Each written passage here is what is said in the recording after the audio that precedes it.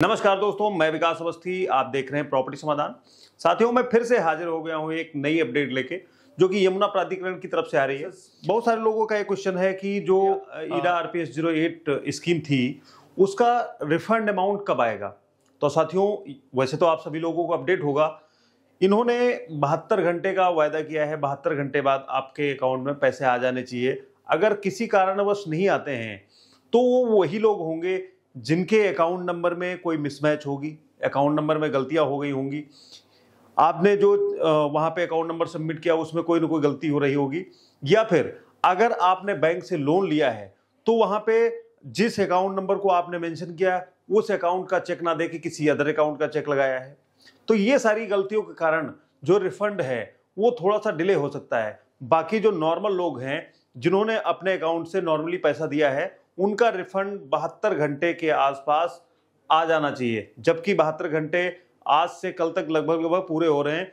तो उम्मीद करते हैं कि जो है, यमुना अथॉरिटी इस बार अपने वादों पर खरी उतरेगी और आपका पैसा जो है, आपके अकाउंट में बहत्तर घंटे में आ जाएगा। अब सेकंड क्वेश्चन ये आता है, जो एलॉटी जिनका प्लॉट निकल आया है आरपीएस ज़ीरो एट में, उनका ये क्वेश्चन आता है कि जो बाकी का पेमेंट है वो कितने दिन में हमें सबमिट करना है और कैसे जमा करना है? तो साथियों, मैं आपको बता देता हूँ कि यहाँ पे जो है 10 दिसंबर तक सफल आवंटियों को करना होगा 90 परसेंट राशि का भुगतान।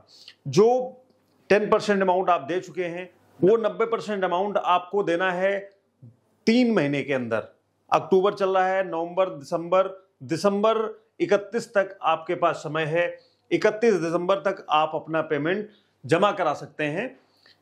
कभी भी। और अगर इन केस किसी भी कारणवश अगर आप पेमेंट नहीं जमा करवा पाते हैं तो आपके ऊपर बहुत मोटा इंटरेस्ट लगाती है अथॉरिटी तो ये ध्यान रहे कि आपका जो टाइम है, वो नब्बे इकतीस दिसंबर तक का है और आपको पेमेंट करना कैसे है? जैसे ही यहाँ पे R P S zero eight में आपने अप्लीकेशन भरा और अप्लीकेशन चेक किया कि हमारा एलिजिबल है नहीं है।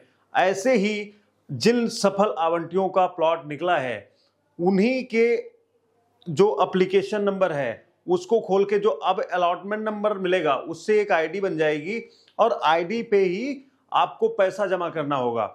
ऑनलाइन जाके साइट पे और आईडी के थ्रू पैसे आपको सबमिट करने होंगे। इन केस आप ऐसा नहीं कर पाते हैं तो आप अथॉरिटी से सुझाव ले सकते हैं, या फिर आप पर्टिकुलर 90 परसेंट का डीडी बना के उस अथॉरिटी के नाम और अथॉरिटी को सबमिट कर सकते हैं। डीडी भी चल सकता है एक परसेंट। तो साथियों, ये अपडेट यमुना प्राधिकरण की तरफ़ से आ रही थी, जो आप सभी लोगों को मैंने दी। तो दोस्तों, उम्मीद करते हैं वीडियो आपको पसंद आएगा। और आगे आने वाले टाइम में जो भी इंफॉर्मेशन यमुना अथॉरिटी या ग्रेटर नोएडा अथॉरिटी से आती रहेगी आप सभी को मैं इसी चैनल के माध्यम से देता रहूँगा। तो दोस्तों, चैनल पे नए हैं तो चैनल को सब्सक्राइब कर लीजिएगा। अगर वीडियो में, वीडियो पे हैं तो वीडियो को लाइक करना, सपोर्ट करना।